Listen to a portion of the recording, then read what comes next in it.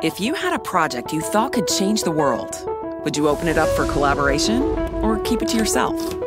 Back in 1991, Linus Torvalds had this same choice. He chose collaboration, and it resulted in Linux, the most successful open source project in history. But what Linus didn't realize was that he was also unlocking the power of distributed genius. What's distributed genius? Well, it's the idea that competition can't beat collaboration.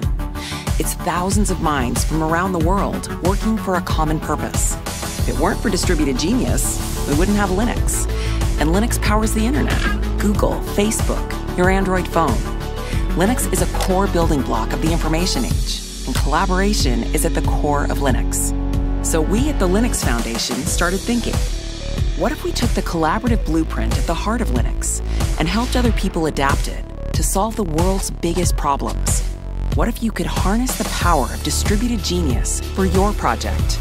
The Linux Foundation has developed principles, practices, and services to support collaboration, from development to infrastructure to spreading new ideas around the world.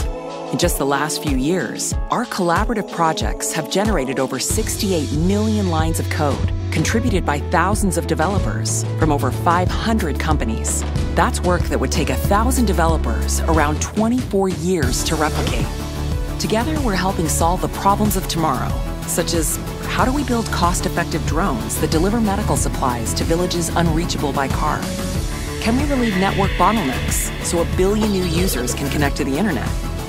Could we more efficiently feed the world by enabling irrigation systems to talk to sensors in the field?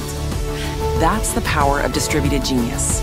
Thousands of minds working together to solve the world's hardest problems at a speed and scale never seen before. So when it comes to your project, remember you have a choice. The Linux Foundation believes collaboration can change the world. Do you?